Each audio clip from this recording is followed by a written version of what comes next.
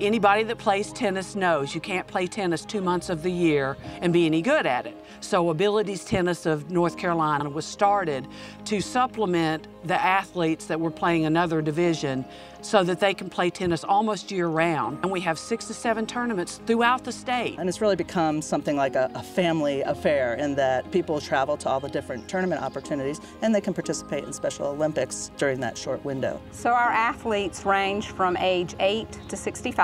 70% of our athletes are adults. Play is for all levels. It starts with skills and goes up to, you know, even high levels of play, like to a 4-0 player. It's all like a miracle to me and a blessing because he gets to play, which is what I wanted. He's met so many new people.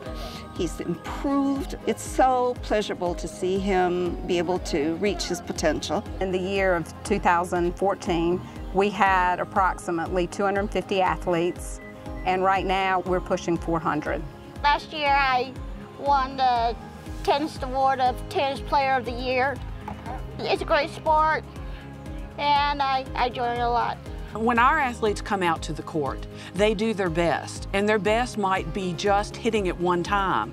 But the opponent is thrilled that they hit it just as much as they are. They learn and grow in the sport of tennis. I love what they are doing because this gives me an opportunity to meet new people and make a lot of new friends. We receive grants and funds through North Carolina Tennis, and we have fundraisers, and all of our programming is free. We do not charge any of our athletes. Ability tennis means the world to me and for Courtney. This gives her the ability to play with her peers and have fun. It's difficult to find ways for them to get exercise and to interact with other people. And Ability Tennis provides that. This fall, we're starting six new clinics throughout the state. Uh, we're providing more play days.